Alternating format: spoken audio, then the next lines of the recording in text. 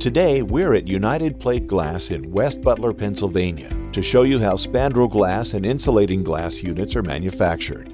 Like almost all glass fabrication, the work begins at the cutting line, where large glass sheets from primary glass manufacturers, such as Vitro Architectural Glass, are unpacked and dropped, one piece at a time, often with mechanical glass handling equipment like you see here.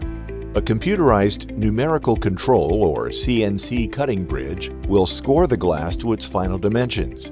Automatic edge deletion may also occur on the cutting table if the glass has an MSVD or soft low-E coating present. Edge deletion is a mechanical process that removes the low-E coating from the perimeter of the glass light, where the spacer sealants will make contact. The glass is then snapped along the score lines and waste pieces are collected for industrial recycling. While this process is typically called cutting, the glass is never actually cut, but rather scored and broken in a controlled fashion. Now that the glass parts are in their final sizes, the pieces are edge seamed and washed. These large industrial glass washers, properly maintained and operated with excellent rinse water quality, are designed to thoroughly clean the glass while protecting MSVD or soft, low-E coatings.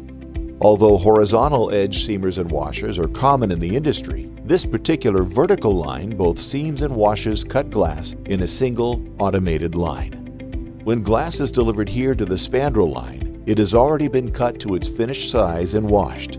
It will be inspected and put through a second washer before it reaches this roll coater. The liquid-looking ceramic frit has been pre-mixed and tested before it cascades over the roll coater and is spread evenly over the surface of the glass. This ceramic-coated glass goes through a drying oven set at 400 degrees.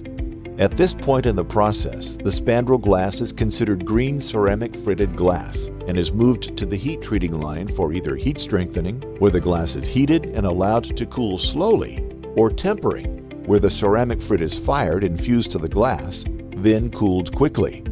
Ceramic frit can be screen applied in a range of dots and other aesthetic patterns to make spandrel glass. There are other processes and materials that can be used to produce spandrel glass as well. Please see our spandrel glass video for more information. This is a computer-controlled vertical insulating glass assembly line at United Plate Glass. Whether annealed, heat-strengthened, or tempered, both lights are oriented, placed on the line, and washed again. A pre-sized and assembled spacer with the primary sealant on both sides is added to the first light. The second light is mated to the now assembled first light and spacer, and the assembly is pressed. Finally, the secondary seal is added and the completed insulating glass unit is inspected and packaged for shipping. We hope you've enjoyed learning about how spandrel glass and insulating glass units are manufactured. For more information on heat-treated glass, view our heat-treated glass video on the Vitro Glass Education Center website.